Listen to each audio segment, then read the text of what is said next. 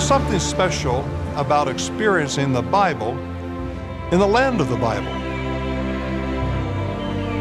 The first time I ever saw this beautiful land of Israel, I was with my family, and I was only eight years old. I had no way of knowing how special it would become to me over the years to come. But this trip is different. My wife, Jane Austin, and all of our children and their spouses are here. This is probably a once in a lifetime opportunity, and I want to make the most of it by studying the scriptures as we go through the land of the Bible.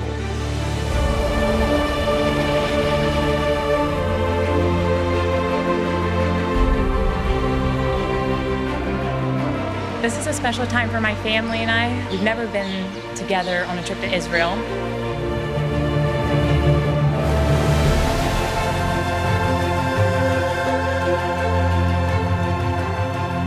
This is a special time because we're enjoying being together and it's a special place to be together and it gives them a renewed love for the scripture. It's just an eye-opening trip to be able to actually see the gospel. I hope that it's a, a living testimony that I can bring home. This is amazing. This is just where Jesus touched people's lives and changed them forever. It's almost hard to take in.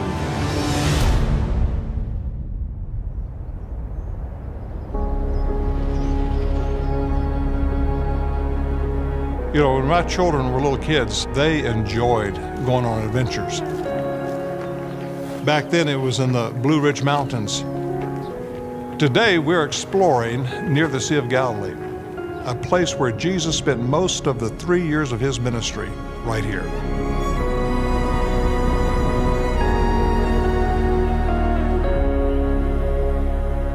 One day, as Jesus was walking with his disciples, a man who lived among the tombs came out to meet him. Outwardly, he was wild, he was dangerous. Inwardly, he is being tormented by demons. This man lived in the tombs, and no one can bind him anymore, not even with a chain. For he had often been chained hand and foot, but he tore the chains apart and broke the irons on his feet. Well, Cissie, that happened somewhere here. And we see back here, uh, we see these caves uh, around us. And uh, just think of this uh, crazy man, demon possessed man, screaming and yelling day and night. And he had supernatural strength that when they chained him, just popped the chains like they weren't even there. When he saw Jesus from a distance, he ran and fell on his knees in front of him. He shouted at the top of his voice, What do you want with me, Jesus, Son of the Most High God? For Jesus had said to him, Come out of this man, you evil spirit. A large herd of pigs was feeding on the nearby hillside. The demons begged Jesus, Send us among the pigs, allow us to go into them. He gave them permission, and the evil spirits came out and went into the pigs. The herd, about 2,000 in number, rushed down the steep bank and into the lake and were drowned. Up here on this hill is a, the remnants of a, of a Roman community. And of course, the Romans ate pigs. Jews didn't, but the, the Romans did. So this very well could be the site. Pig could have run right down that hill and ran into the sea down here and drowned.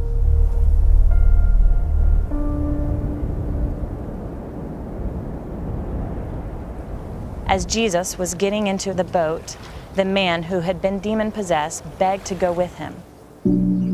Jesus did not let him, but said, Go home to your family and tell them how much the Lord has done for you and how he has had mercy on you. So the man went away and began to tell in the Decapolis how much Jesus had done for him. And all the people were amazed. Everybody here knew him. Just think of this demon possessed man screaming and yelling day and night. What impresses me, Cissie, about this is when the man came to his right mind, every, like everybody else, he wanted to follow Jesus right then. But Jesus said, No, I want you to go home. And I want you to tell your family, and I want you to tell the good things the Lord has done for you. and how important it is for all of us to be a witness at home. Not everybody is called to go to the ends of the earth, but we are called to be a witness to where God puts us in life. I bet there were thousands of people that are in heaven because this man said, Let me tell you what the Lord did for me. See, he obeyed the Lord Jesus Christ. He said, Go home, and he obeyed.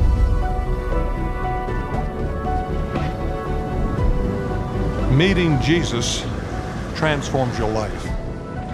And you can't help but to tell others how good God has been to you.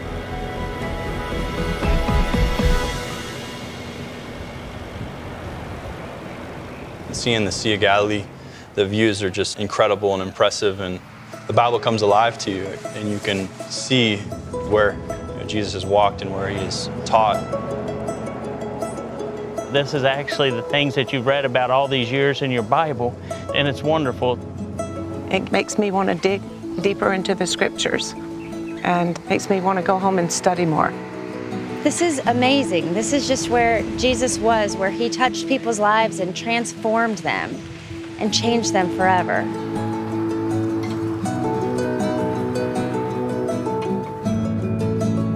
Our next stop takes us south towards the Dead Sea and to the nearby city of Jericho. It's one of the oldest cities in the world, and it's a place where the life of a sinner was changed forever.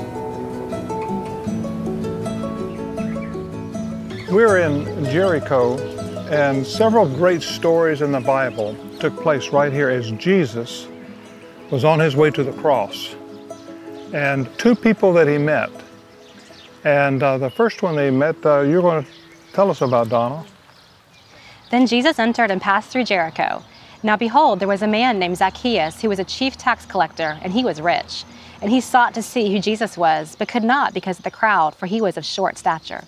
So he ran ahead and he climbed up into a sycamore tree to see him. And when Jesus came to the place, he looked up and saw him, and said to him, Zacchaeus, make haste and come down, for today I must stay at your house. Zacchaeus, who is a corrupt public official, he was a tax collector, he cheated people. Zacchaeus heard Jesus was coming, but being a, a little guy, he couldn't see over the crowd. So he runs ahead and he climbs a, a tree like this. And he sits up there, and Jesus comes and he sees Zacchaeus and he stops. He calls Zacchaeus by name. And you know, Jesus knows our name, knows everything about us. And he looked at Zacchaeus and said, Zacchaeus, come down quickly. I'm going to come to your house today. The Lord Jesus Christ is wanting to come into each and every one of our hearts, and he wants to come stay. And uh, Zacchaeus, the Bible says, he welcomed him. And then he, he said, if I've cheated anybody, I'm going to pay them back. I'm going to give half my possessions to the poor. I'll pay back fourfold if I've taken anything by false accusation. And so by coming to Jesus, he immediately wanted to make his life right. He wanted to be restored in fellowship with other people that he cheated. And I think that's just evidence of a changed life.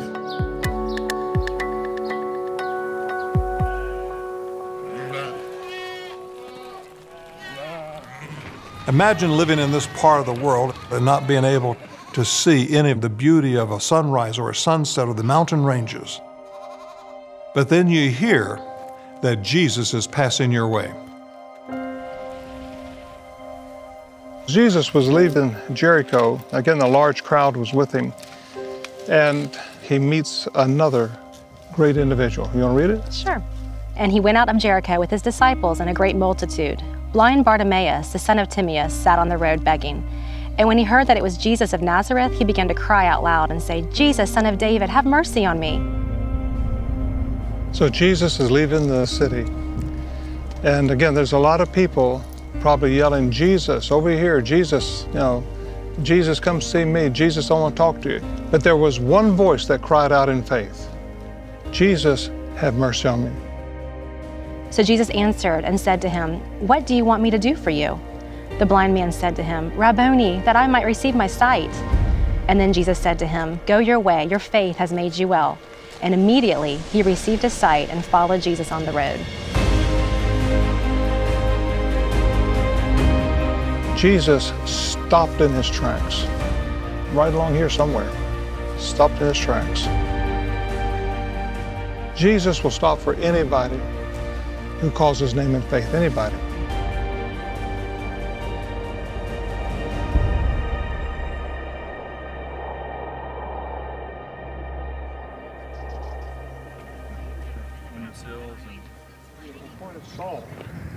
You know, for us as children, we would learn scripture together. We would have devotions as a family, reading the scriptures, telling Bible stories. We always loved Dad because Dad would make it interesting.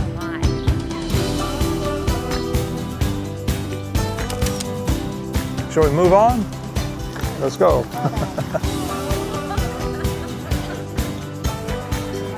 oh, yeah, there we go. Arms around.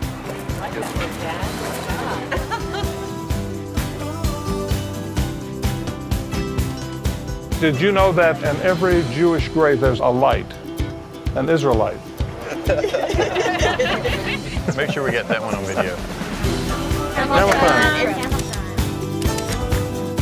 was a new family experience. I saw Lawrence of Arabia. I'm a natural.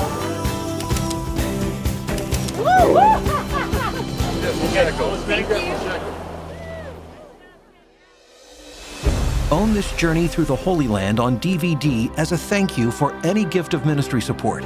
This DVD also includes bonus materials from Billy Graham and the previous devotion series, Seven Days in the Holy Land. Call now or go to billygraham.tv.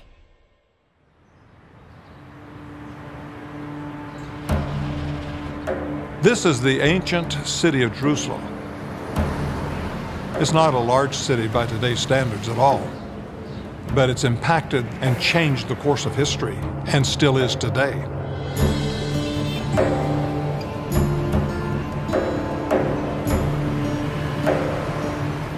Two thousand years ago, down a street similar to this, someone came looking for Jesus, and he was searching for truth. Jesus had a very religious man uh, come to visit him, a man who had a question. So I'm going to ask Corey uh, to read uh, in John chapter 3. Now there was a man of the Pharisees named Nicodemus, a member of the Jewish ruling council. He came to Jesus at night and said, Rabbi, we know you are a teacher who has come from God, for no one could perform the miraculous signs you are doing if God were not with him. In reply, Jesus declared, I tell you the truth, no one can see the kingdom of God unless he is born again. How can a man be born when he is old? Nicodemus asked. Nicodemus was searching, and religion didn't satisfy. There was an emptiness, and he comes to Jesus at night with his question. And Jesus says, you know, flesh gives birth to flesh, but spirit gives birth to spirit, and we have to be born again. And Nicodemus asks a very good question Do I enter uh, my mother's womb a second time? You know, he's just, how does this work? And uh, Jesus reveals to him that we have to be born of spirit as well. And that's when we come to put our faith in Christ. After he had that conversation with Jesus, he put his faith and trust in him. And he was a secret follower until Jesus was crucified. And now he was no secret follower because he stood out from the rest of those Pharisees. At that point, Nicodemus didn't care who saw him. He takes a stand and he publicly goes and gets the body. And they put it in the, in the tomb.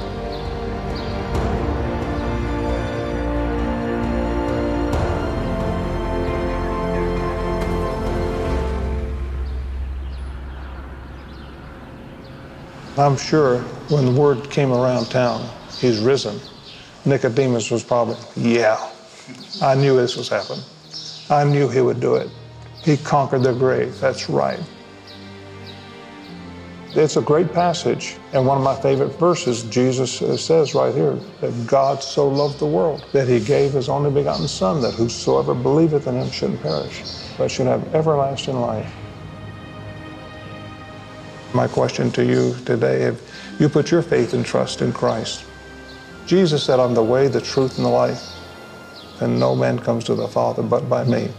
The only way we can come to God is through faith in Jesus Christ. It's not by being religious, it's not by how many prayers you pray or how many candles you light. By grace are we saved through faith, and it's not of works. God loves you, and Christ died for our sins, and He rose from the grave. He's alive, and He'll come into every heart that is willing to yield to Him and trust Him by faith. If you haven't, put your faith and trust in Christ. You can do it right now, wherever you are. Just pray this prayer. Just say, God, I have sinned, and I'm sorry. Forgive me. I believe that Jesus Christ is your Son, that He died for my sins, that He rose from the grave. And I'd like to invite Him to come into my heart, to take control of my life from this day forward, forever.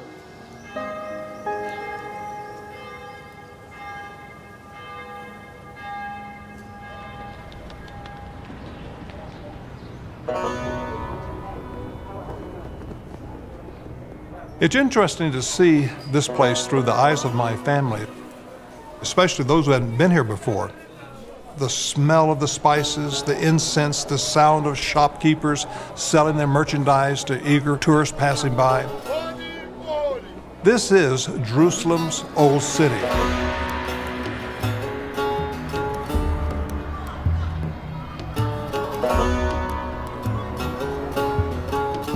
Although full of beautiful things, this city is so much more than just a tourist attraction. This is the city where Jesus would pay the ultimate price for your sins and for mine.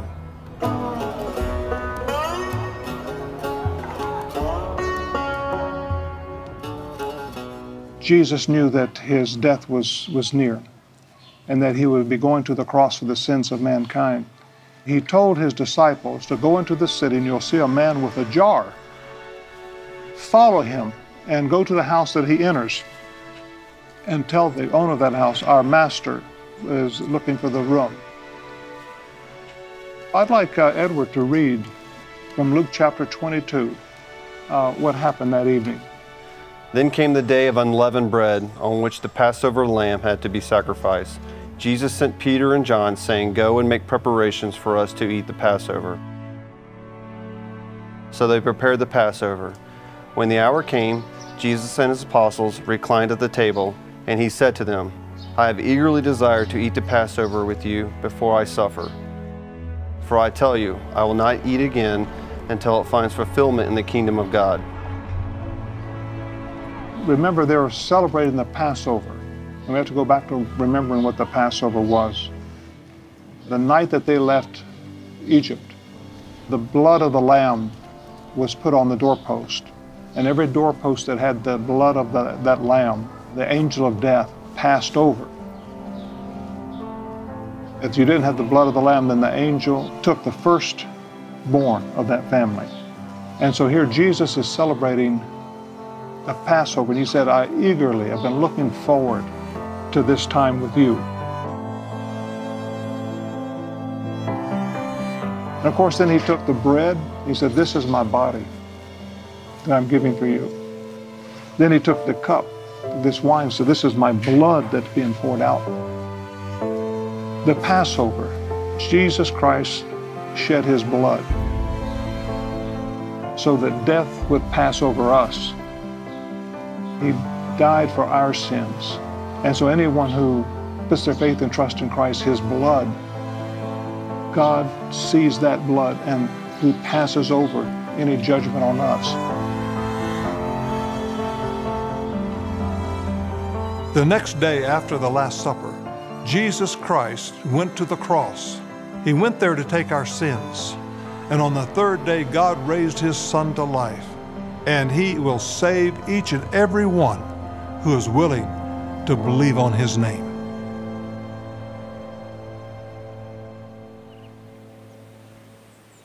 Without the death and burial and resurrection of Jesus Christ, Christianity would be just another empty religion.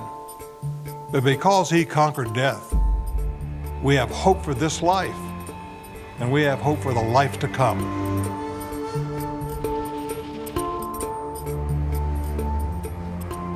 After the resurrection of Jesus, the two Marys ran to the disciples to tell them uh, what just took place, that, that they saw the tomb was empty.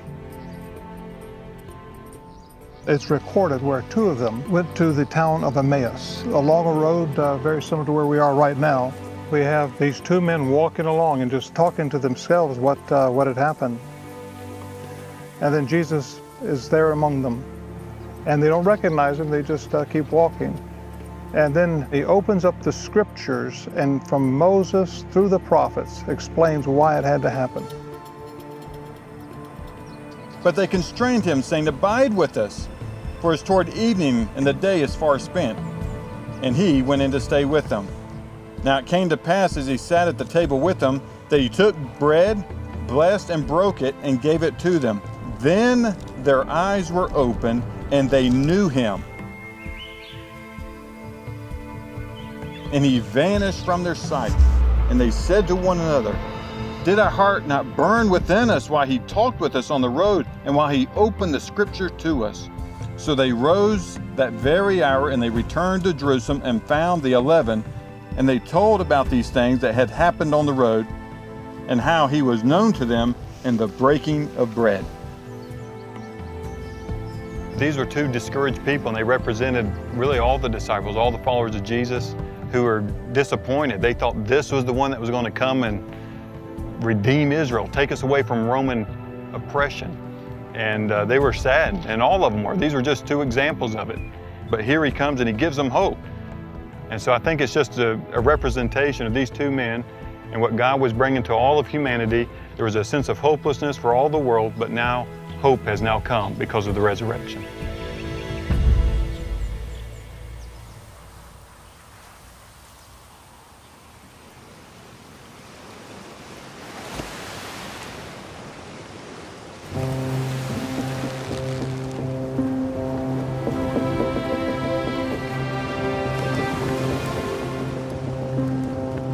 After his resurrection, Jesus came to the Sea of Galilee, where his disciples had returned to fishing. This was the place where Jesus had first gathered his disciples, teaching them to trust him. He said, Follow me, and I'll make you fishers of men.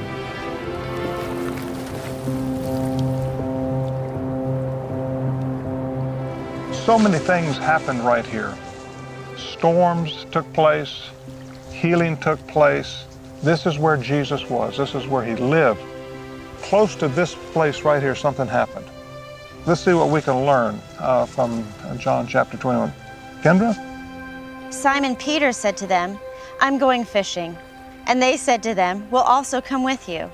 Then they went out and they got into the boat. And that night they caught nothing. But when the day was now breaking, Jesus stood on the beach, yet the disciples did not know that it was Jesus.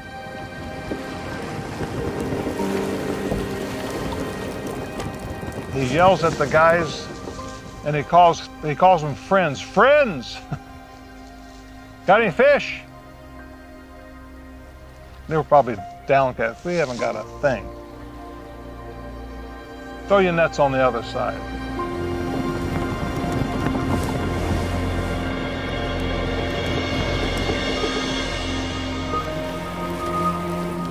Now they got 153 fish, and John said to Peter, It's the Lord.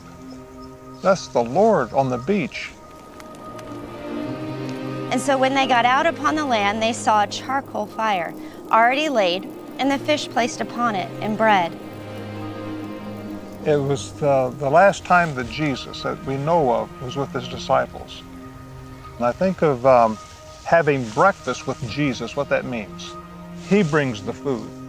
He already had the fire built, he already had the, the fish, he already had the bread, and he'll feed you spiritually. As you read his word, he'll open up the word of God to you. You'll have understanding that you can't believe.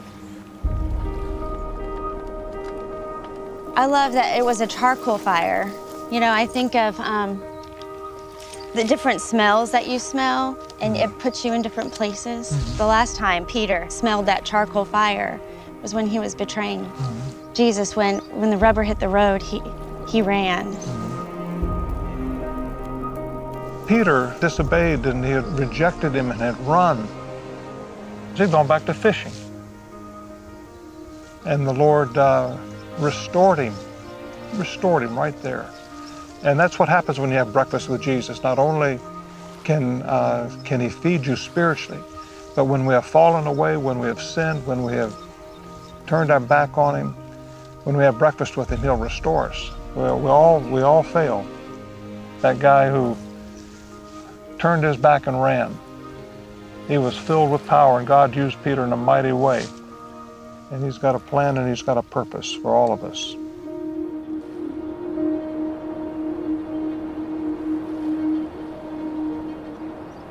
Before we leave this land of the Bible, and we've seen a lot. And sometimes it's, it's hard to soak it all in. And you need a little time just to reflect. Let's take a few minutes and reflect a little bit. What an incredible opportunity to come and visit this country and to see how God, how the New Testament and Scripture continues to live today. That's what I'm taking away from this trip. These were real people. These are real stories. To me, to sense it through my senses, it was, it was I'll never forget the, the feelings and the tastes and the, the sights that I saw. You see the hill of the skull, and that's where all God's wrath was poured out on himself. For us, I mean, that's powerful love. Then you go to the tomb and it's empty and there's hope. My heart is overwhelmed with thankfulness and awe. So grateful for a God like that. A special moment is when we were all standing on the Mount of Olives together, where Dad surrendered his life to Christ. When I was 22, uh, this little hotel right up here above us, uh, I was there one night that I got on my knees and I asked Jesus Christ to come into my heart. And this is where God spoke to me. So I always come up here and I look out over the city, and I'm always just thankful for what God has done in my life.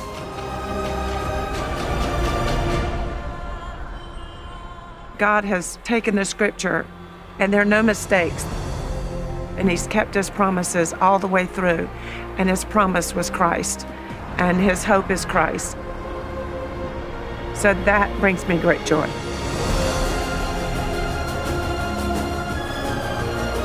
This trip has reminded us all that Jesus we read about, He is still at work changing hearts, redeeming all who will repent of their sins and are willing to call on His name and trust Him.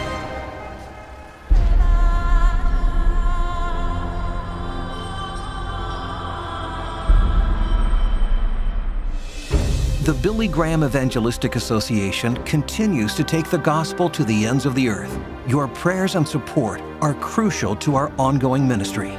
Partner with us and receive your copy of Return to the Holy Land. Call now or go to billygraham.tv.